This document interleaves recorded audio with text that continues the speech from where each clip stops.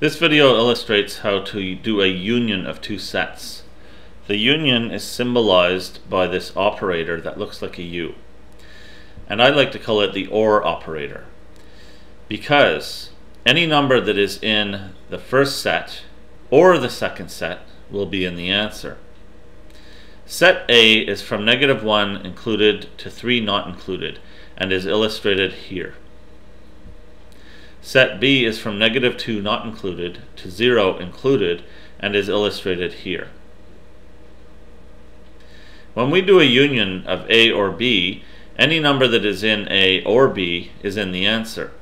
For example, 0 is in A and B, so it will be in the answer. Negative 1.5 is not in A, but it is in B, so it will be in the answer. 2.5 is not in B, but it is in A, so it will be in the answer. Therefore, all the numbers between negative 2 and 3 will be in the answer. I shade my number line to show that. Then I have to turn my attention to the actual numbers negative 2 and 3.